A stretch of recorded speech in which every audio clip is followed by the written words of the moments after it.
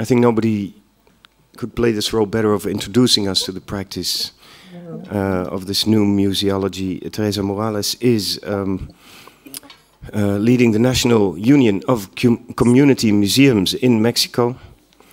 She um, is also setting up network after network, including the Union of Community Museums in Oaxaca in Mexico. That is where most of your day-to-day -day practice lies, I believe. And um, Teresa, I would love you to introduce us into this um, field of, of new museology, into the cultural heritage, the sharing of knowledge. Go ahead. Thank you very much. Uh, I also want to thank the invitation and the possibility of being here today with the, all the people that are doing this hard work of organizing the event. Um, I'm not used to interacting with so many media, so I don't know, we'll see.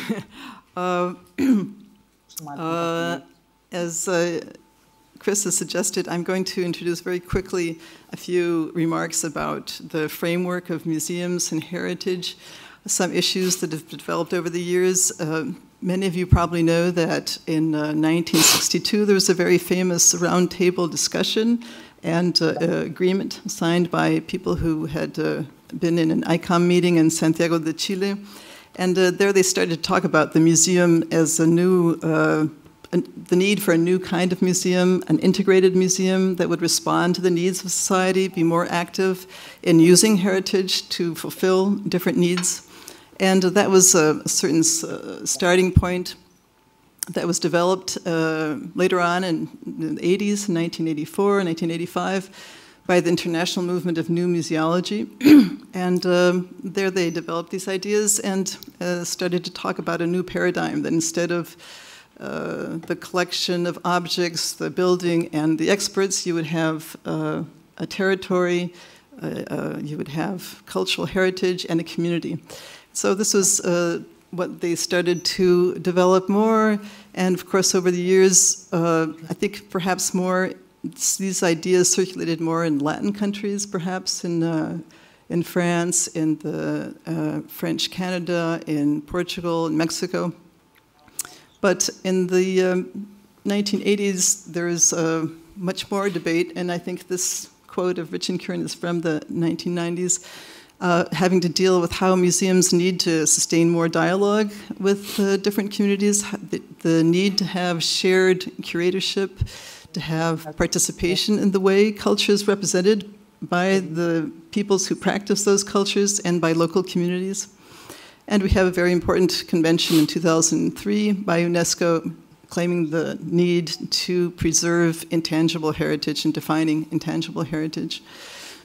But if we look at this series of agreements and events as, um, as a sequence, it would seem as if there was just uh, a certain progression and that there aren't conflicts in this process. But of course, that would be false because the dealing with cultural heritage, the handling of uh, cultural patrimony is a conflictive situation, is one in which there are very many claims and uh, what's moved it forward, I think, is uh, the claims of different groups and different peoples, different cultures, uh, wanting to be more heard and their right to have their own heritage, their material heritage, their right to interpret that heritage is being more and more clearly uh, articulated. And these would be claims not from the top of the high, these high cultural institutions, but from the bottom up.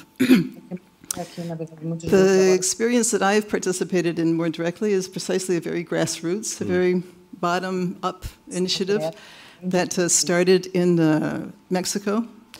And uh, particularly, uh, my husband, Cuauhtemoc Camarena, and myself started collaborating with some communities at the beginning of this experience was started in 1985, 25 years ago. And it, it really began because some of the indigenous villages in the state of Oaxaca began to propose that they wanted to create community museums. They are on the screen behind you right now. Okay. so this is Oaxaca. And uh, I'll say very briefly that Oaxaca is a state in the south of Mexico. It has uh, the greatest diversity of ethnic groups within Mexico is a country, 15 different ethnic groups, different cultures, a great deal of uh, local identity, which is very strong, local communities. There are 570 municipalities within the state, and uh, communities that are very active in claiming their rights in many different ways. and one of these communities had an archaeological discovery in 1985, and they asked for support to create a museum because they wanted those artifacts to be kept in their community. They wanted this to be something that their children could see, that they could talk about, that they could interpret, and have in their own village. And so we began to collaborate with them. And uh, this led to a process where we, we learned a great deal. We were able to open this museum in 1986. And then other villages started to uh, also ask for this kind of support.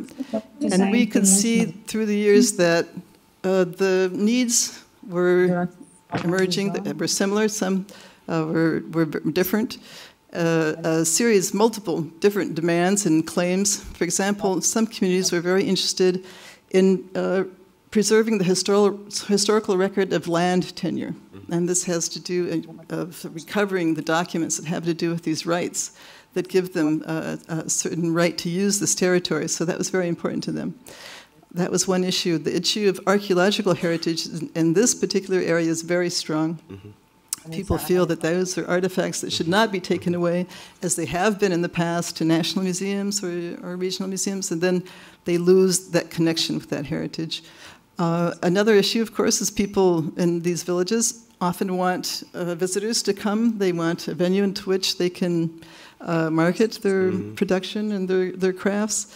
And more and more people are very concerned with how many of their traditions are being weakened for many different reasons, among them the migration, that's is more and more mm-hmm. prevalent in all this area. So it was a, multiple reasons why people wanted to have these institutions. so throughout the years, uh, these communities uh, were more and more, and we started to bring them together in 1988.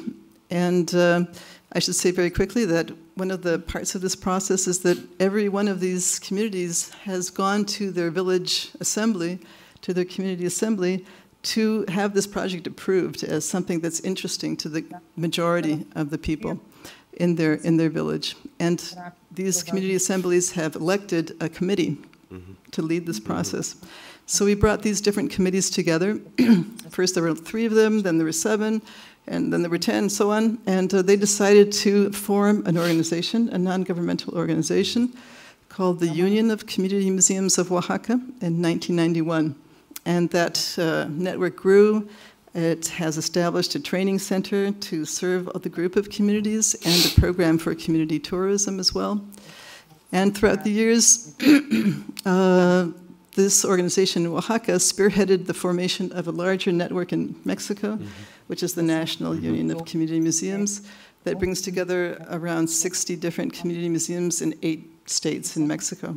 And so this organization is also moving ahead. And uh, to say just very quickly, in the year 2000, we started to bring together communities that are interested in this area from different countries in Latin America. And, uh, and now there are 12 different countries or participants from 12 countries that are uh, participating in this network of community museums of America. And we've had six international meetings and four workshops for facilitators of community museums of America. And to uh, finish up this first uh, intervention, I just mm-hmm. wanted to say very quickly two points that we think are very essential in this process, which is that uh, if we were going to talk about uh, museums as a vehicle for people to have a greater uh, ability to handle their own cultural heritage, we have to talk about community appropriation. And that means communities being able to decide about how this is handled. It's not only about participating in a certain part of the process of doing part of the uh, installation of an exhibition or doing part of a drawing that's going to be in the exhibition. it means deciding about the whole process. So uh, we think this should be taken into account, that the museum should be a project that the community decides on in its uh, way in which it's able to come to consensus, which is, of course, very different in different communities. Um, that it should be uh, a community a group of community representatives that leads the initiative, not someone from the outside, but people from the community that are, have a representation, that are, are legitimate representatives of their community, that take this forward, that plan for it, they're the ones that handle the funds to do the project, and so on. That the community be able to decide what themes they want to see represented in the mm. museum. Of course, this can be done in many different ways, in consultations and neighborhood meetings. uh, it can even be done perhaps with a, sometimes with a questionnaire, but the point is for people to have their opinion heard. What do they want to preserve? What do they want to talk about? What's, what are the issues that they feel are more mm. essential to have in the museum? Um, instead of, for example, me going and saying, as an anthropologist, I think this is the most important part of your culture, for them to reflect on what, what, is, what is important to them. And uh, for the building to be decided on by the community. And then in the process of creating the museum, that the people of the community participate in the research and have training to be able to do this research and have a workshop where they can design how their exhibition is going to be put together and participate in the whole process so that uh, our role as experts or professionals in this field becomes more and more the role of a facilitator that offers knowledge, that offers training, that offers guidance, but isn't the one who's controlling the process or making the decisions. Okay. Just giving uh, tools, giving uh, possibilities, opening up different areas where people can act collectively uh, around their own heritage and really be the ones that are owning the project and that are appropriating this, this tool as the museum. Teresa, thank you. And it's, it's actually great to, to hear you tell the story while the proof is being shown behind you, picture after picture. Um, just a few questions, because it's obviously a, a huge uh, practice um, which we can impossibly cover in just, just this short time. But a few questions that strike me. First, now in your first presentation, you you didn't focus explicitly on, on either tangible or non-tangible cultural heritage. In the pictures we see, I think both are represented. Can you can you tell us a little bit about the non-tangible, the ways how a community museum, in this case in Oaxaca, can preserve and present that, that non-tangible cultural heritage?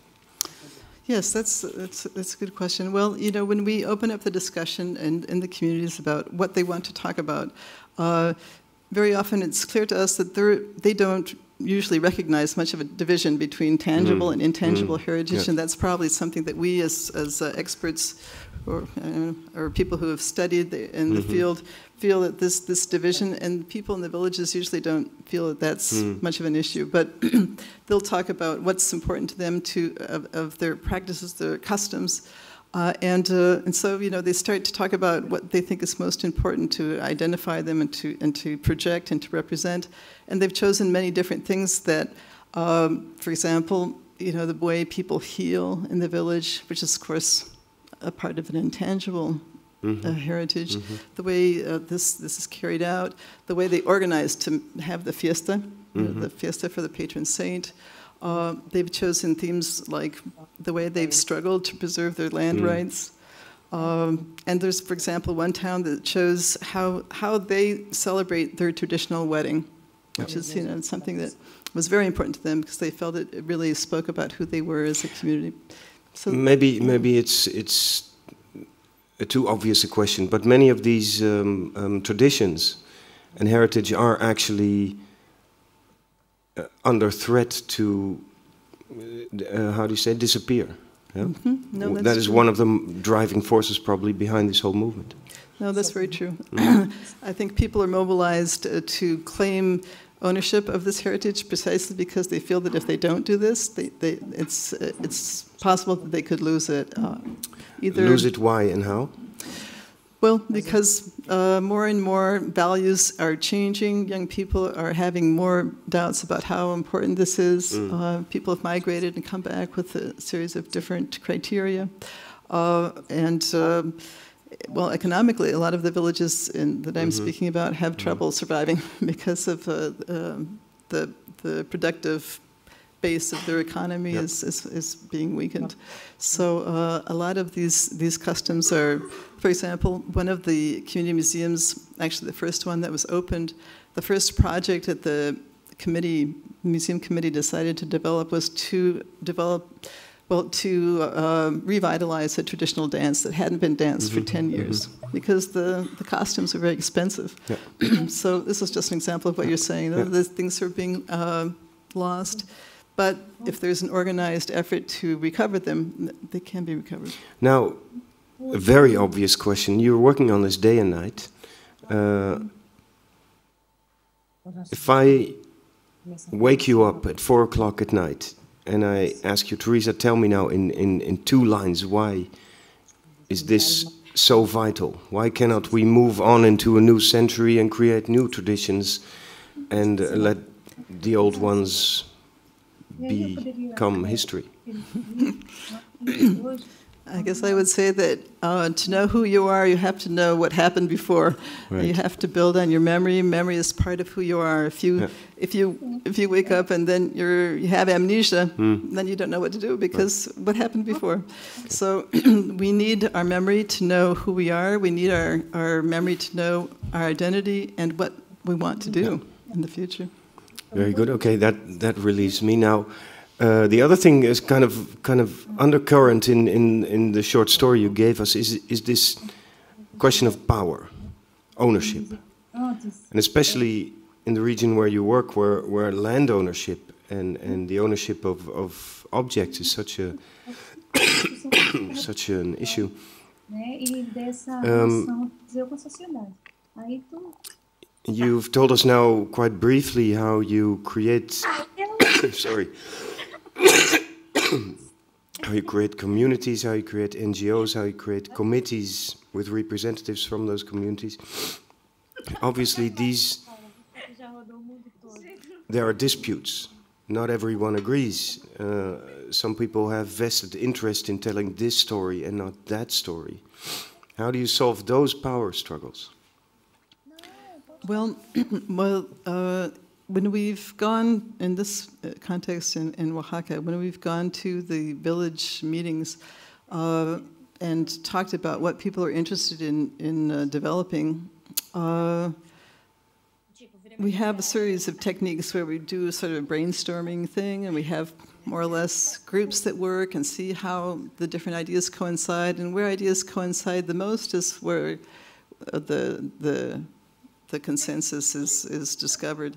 And uh, to be perfectly frank, uh, there hasn't been that much conflict in, in those scenarios because a lot of people uh, have a certain idea of what they want out of a museum. Sometimes it's because there's been a previous event that people feel that something is threatened, Yeah. uh, collection is threatened, or um, they're very interested in not losing something, as, as you described, either a practice or, or something of, the, of their physical heritage. Uh, or people sort of have an idea that they're famous for, as I say, their wedding or their healing practices. Of course, we could say that. Uh, I'm sure you know many people will uh, be able to criticize this as saying that people tend to project what's positive about their community, and they tend not to talk about a lot of the conflicts that they have. And this this could be true, but um, we consider that's that's part of the process. People claiming what they feel they need to identify with, what has to do with their self-esteem, and that in the process, you know, this is uh, ways that people will be able to talk about their collective identity in greater depths Yeah. as time goes on. One final question. Um, let's say if I'm a museum director here in Holland, I would say, great, great idea, perfect. I wanna, I wanna get all those people together. They, they, I'll share uh, the decision-making process. But we need professionals like me, because you might be a nice farmer or, or housewife or tailor or whatever. But if your sons and daughters choose to leave the village and you die, then you need people like me to keep this tradition alive. So, what do you, how do you, how do you, I mean, farmers and housewives are not trained to run a museum. How do you get this, you know, how do you get them to, to, to, to take part on a, on a, uh, what's the name, a sustainable way? Well, I think uh, for example, this the just to give you an example, the first museum that was opened in '86, so it's been open for 24 years now. Mm-hmm.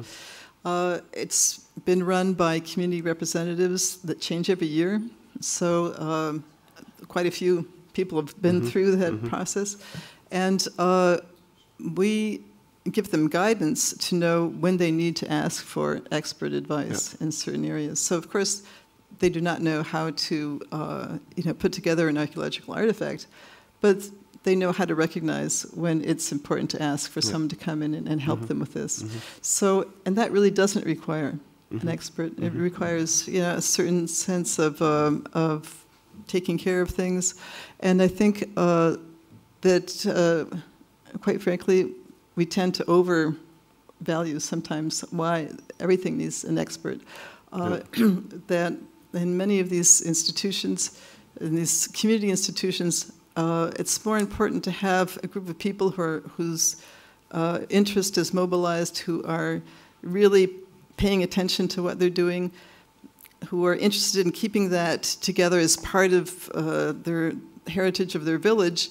They probably take better care of that than someone who is on a you know poor salary and maybe just not Yeah. just spending the time. So I think that it has more value in many ways.